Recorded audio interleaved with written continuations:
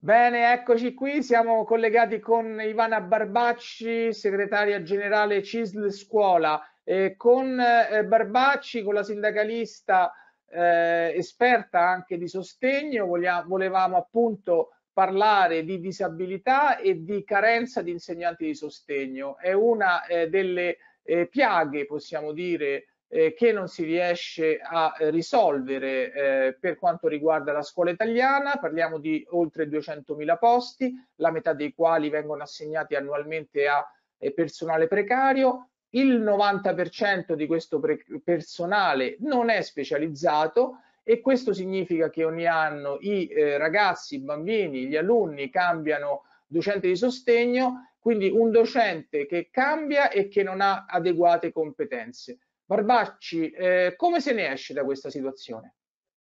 C'è un solo modo ed è una necessità urgentissima. Abbiamo già superato la soglia di emergenza, proprio i numeri che lei ha ricordato ce lo dicono. Dobbiamo mettere a disposizione degli insegnanti percorsi di, di specializzazione che siano fortemente aderenti ai bisogni ehm, relativamente alle, alle, disponibilità. Lei ha, ha, chiaramente ricordato che 90.000 docenti occupano cattedre di sostegno senza averne la specializzazione. È un, questo è un danno all'intero sistema scolastico. Quindi dobbiamo attivare TFA in maniera ordinaria organica. Serve un, un sistema permanente che consenta agli insegnanti di poter accedere a percorsi di tirocinio formativo attivo e acquisire le specializzazioni. Mi sento di dire che c'è un bisogno in una fase transitoria di non, di non mettere numeri, ma di fare una grande operazione che possa essere anche gestita dal Ministero piuttosto che dalle università. Valutiamo anche questo, cioè è un bisogno della scuola. Allora, eh, invece di fare la scuola di alta formazione, mi sento di dire, perché non convertiamo una struttura mh, mm, che possa rispondere ad esempio a tutti i bisogni legati all'acquisizione delle specializzazioni sul sostegno e le abilitazioni, perché l'altro tema, l'altra faccia della medaglia è anche come fare per abilitare gli insegnanti che, san, che sono in seconda fascia GPS, ce ne sono tantissimi, arriveremo anche alle seconde fasce GPS. Lì noi dobbiamo interrogarci su come abilitarli per metterli in classe in maniera qualificata. Barbacci, Quindi serve una fase sì, sì. straordinaria. No, perché anche questo è un aspetto anche paradossale. Moltissimi insegnanti, decine di migliaia, avevano fatto, credo ormai tre anni fa, domanda eh, poi eh, agganciata ad un bando per acquisire l'abilitazione. Poi c'è stato il Covid, eh, poi sono cambiati più governi, adesso abbiamo una nuova legislatura ma eh, perché non si abilitano questi insegnanti?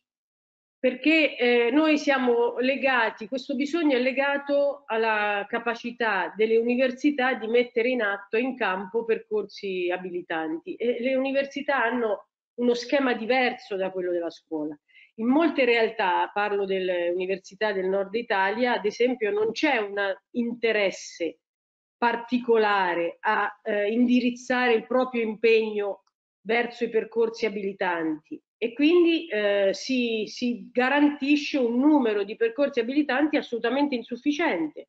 C'è una battaglia tutti gli anni per poter ottenere 100, 200 posti per le abilitazioni, quando invece ne servirebbero migliaia di posti. Allora vuol dire che probabilmente il sistema universitario fa fatica a rispondere a questo bisogno. Quindi vuol dire che il Ministero dell'Istruzione e del Merito deve, dal nostro punto di vista, prendere in mano la situazione, governarla dal di dentro e non pensare che sia l'università ad occuparsene certo. da sola.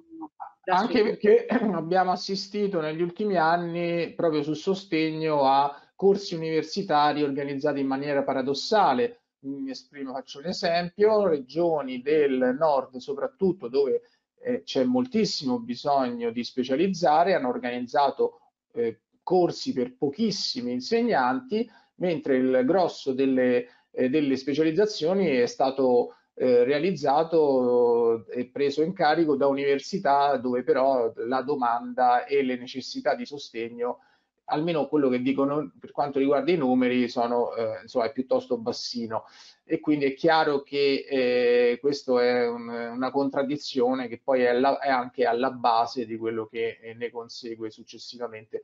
Eh, un, ultimissimo riferimento e poi terminiamo alla nuova formazione, la formazione che verrà successivamente. Aspettavamo successivamente appunto al 2024, abbiamo la, eh, il decreto legge 36, poi convertito nella legge eh, 79 eh, appunto eh, della, della, scorsa estate, ma eh, l'attuazione di quella legge non c'è, eh, l'aspettavamo dall'estate scorsa, il 31 luglio, siamo fermi.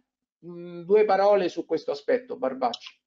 Sì, mh, la formazione iniziale per poter garantire ai ragazzi che escono dall'università di mh, scegliere anche la carriera scolastica è un tema importantissimo. Noi siamo molto attenti anche a questo perché abbiamo bisogno anche di forze nuove, però in termini di nuove generazioni che entrano nella scuola, è evidente che eh, è un tema che mh, impatta fortemente con l'offerta formativa delle università e organizzare 60 CFU credo sia davvero un'impresa.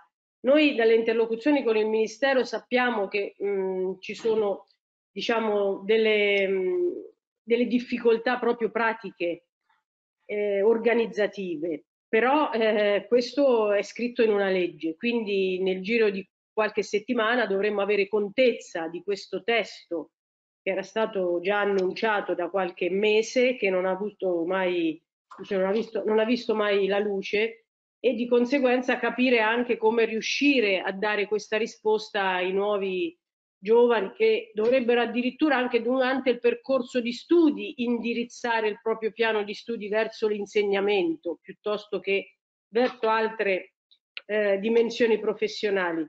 È un tema che è rimasto parcheggiato, appoggiato lì in attesa di vedere la luce dopo che magari il PNRR prende, prende il via ed è però un'urgenza sulla quale dobbiamo tutti riportare la nostra attenzione e saremo noi i primi a sollecitare il Ministero a darci delle risposte.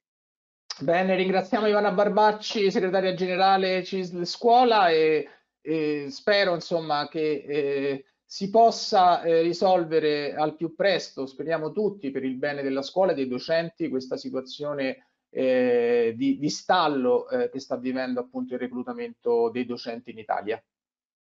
Sì, decisamente sì, lo attendiamo e questa sarà l'occasione, credo che sia l'ultimo, l'ultima stazione da cui poter ripartire per un segnale davvero nuovo rispetto al passato.